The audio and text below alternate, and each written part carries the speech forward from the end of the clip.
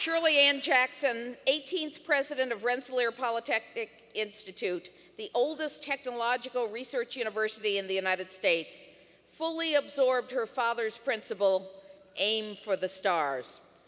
One of only two African American women in her undergraduate class at MIT, she was awarded a bachelor's degree in physics in 1968, where she also earned a PhD in theoretical elementary particle physics, the first African American woman to earn a PhD at MIT in any subject, and one of the first two African American women in the United States to earn a doctorate in physics.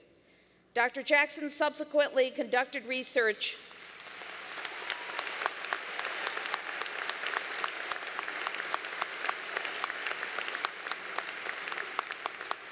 Dr. Jackson subsequently conducted research at several world-renowned scientific enterprises, the Fermi National Accelerator Laboratory, the European Organization for Nuclear Research, the Stanford Linear Accelerator Center, and the Aspen Center for Physics. And for 15 years in theoretical and scattering and low energy physics at AT&T's Bell Laboratories, and as a professor of physics at Rutgers, she led a research team in theoretical physics and taught both undergraduate and graduate students while continuing to consult for Bell Laboratories.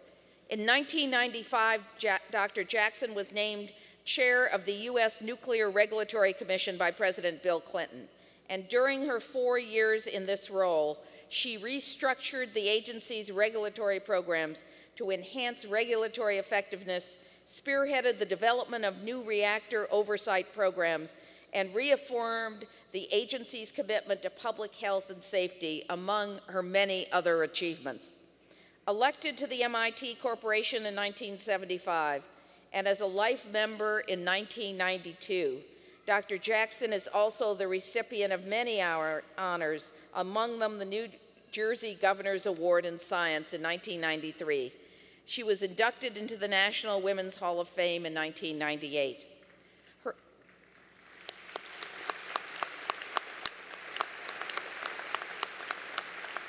Her, appointment in 1999 as president of Rensselaer was met with universal acclaim, and she has been the catalyst for an extraordinary renaissance at that institution.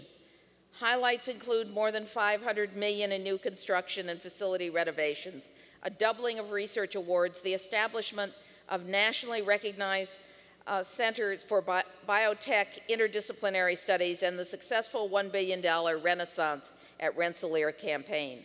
Over the past several years, Shirley Ann Jackson has made it her mission to raise awareness of the nation's underinvestment in basic research to help ensure that our country maintains its technological leadership and to help address urgent international issues such as global warming.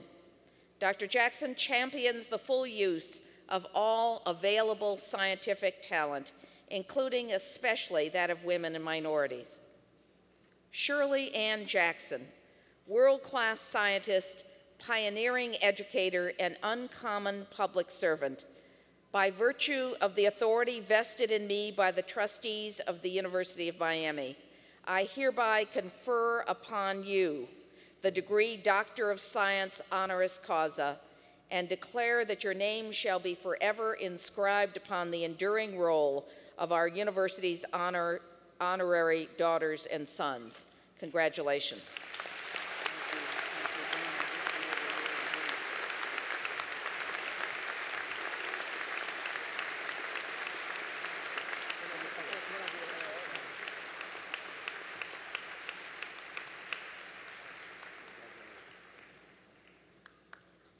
Dr. Jackson and I have been friends for many years. Let me present to you Dr. Shirley Ann Jackson.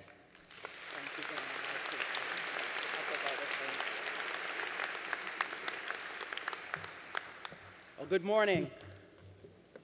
It is a distinct honor to be here with my friend and colleague, President Donna Shalala, who leads this fine institution with the same distinction she has always displayed whenever she has been called to leadership. And it is a distinct honor to share this special day with you, the 2007 graduates of the College of Engineering and the School of Business Administration, I offer you my sincere and enthusiastic congratulations. I received the honorary degree, thank you, and congratulations to you. I received the honorary degree which you have bestowed upon me with immense pride and deep gratitude. Nearly 40 years ago, I was sitting where you are sitting today. I had a great deal on my mind as I sat there. I was nervous and excited, as I expect some of you are. I was thinking about getting across the stage, more or less gracefully, without mishap. I was looking forward to the conclusion of this exercise and to celebrating with my family, of course. But fundamentally, I was nervous a bit about the future, about the great unknown which looms to the fore after one has completed a major undertaking. Indeed, when I was sitting where you are sitting, worrying about the walk to receive my diploma, the future indeed was tremendously uncertain. My generation was deeply impacted by events and circumstances which were playing out across the nation and across the world. We were in the midst of a fundamental societal shift, a shift driven by the civil rights movement and by our involvement in a war on the other side of the globe. The nation was deba debating fairness and equality, which ultimately resulted in legislation ending legal racial segregation, voting rights, and the ability to be publicly accommodated all over the country. That debate opened a window and offered whole segments of the population new opportunity and fresh prospect. I was one whose life and career outlook changed because of this debate and its outcomes, beginning early on with the desegregation of the public schools in Washington, D.C., where I grew up, after the momentous Brown versus Board of Education U.S. Supreme Court decision of 1954. Our, our nation was at war when I graduated in Vietnam a war which seemed to have no near term conclusion.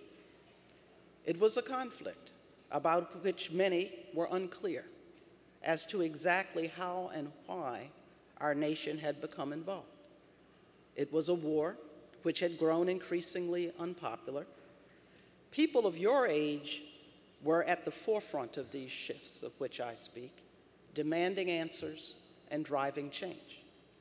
You are graduating against a remarkably similar background, a similar societal shift, which is playing out not only in the national theater, but on a global stage.